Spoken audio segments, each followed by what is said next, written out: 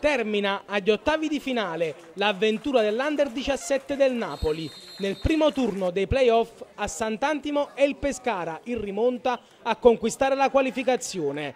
Nelle prime fasi del match il Napoli sembra più incisivo. Al settimo su assist di Gaetano la Briola potrebbe involarsi verso la porta avversaria ma viene fermato dall'assistente dell'arbitro Rainone per una posizione di fuorigioco che sembra esserci.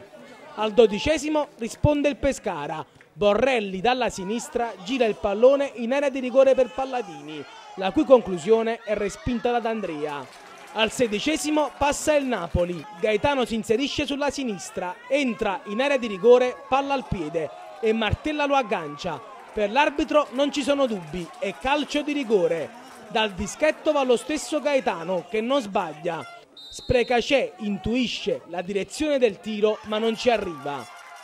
Nel Pescara si ferma Di Federico, mister Mancini è costretto al cambio. Al suo posto entra Pavone, che poi si rivelerà la carta vincente nel finale del match. Al trentesimo Gaetano va vicino alla doppietta. Ottimo il cross di Pirone. Splendida la coordinazione del numero 10 azzurro con la girata di destro al volo che termina di poco al lato. Al 35 è il Pescara invece ad avere un'occasione per il pareggio. Pompetti con una magia trova lo spazio per servire Palladini che premia il taglio di Pavone la cui conclusione è respinta di piede da D'Andrea. Al 41 il Napoli potrebbe raddoppiare Pirone approfitta di un errore di Sabatini nella propria tre quarti, avanza fino all'area avversaria, ma invece di servire Micillo va al tiro. Sprecacè non riesce a bloccarlo, ma il pallone termina sul fondo. Non c'è tempo neanche per il corner. È l'ultima emozione della prima frazione di gioco. Nella ripresa è di Gaetano il primo spunto degno di nota. All'undicesimo Palmieri tenta la rovesciata, diventa un assist per Gaetano, il cui tiro a giro termina di poco alto sopra la traversa. Un minuto dopo è il Pescara a sfiorare il pareggio. Cross di Martella per Borrelli, in anticipo su Bartiromo. Sabatini cerca di fare la torre per Palladini, smanaccia d'Andrea. Il colpo di testa di Camplone a porta vuota termina di poco a lato, mentre il portiere azzurro protestava per un fallo ai suoi danni, rimediando anche l'ammonizione. Al quattordicesimo il Pescara reclama un calcio di rigore per un presunto fallo di mano di Senese che invece colpisce di spalla il pallone sugli sviluppi di un rimpallo. Al ventesimo il Napoli spreca la palla del 2-0. Gaetano, servito dalla Briola, trova la risposta di Sprecacè che si supera anche sul tapin del numero 7 azzurro che viene beccato però in fuorigioco.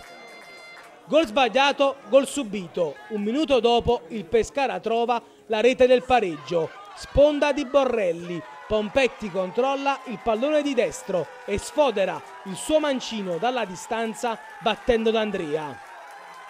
Al 24 il Napoli ha l'occasione per riportarsi in vantaggio. Calcio di punizione di D'Alessandro, stacca Palmieri, Sprecacè si distende e fa su il pallone in due tempi. Al 32esimo gli azzurrini sprecano ancora sotto porta. D'Alessandro intercetta la sfera sulla mediana e verticalizza per Gaetano che arriva a tu per tu con Sprecacè e si fa respingere la conclusione. Un minuto dopo è un tiro cross di Martella ad impensierire D'Andrea che si rifugia in corner. Al 39 il portiere azzurro dice no a Palladini, deviando sul fondo la sua conclusione, ma al 42 non può far nulla sul tiro a giro di Pavone che di sinistro spedisce il pallone nell'angolo opposto, facendo esplodere di gioia l'ambiente pescarese.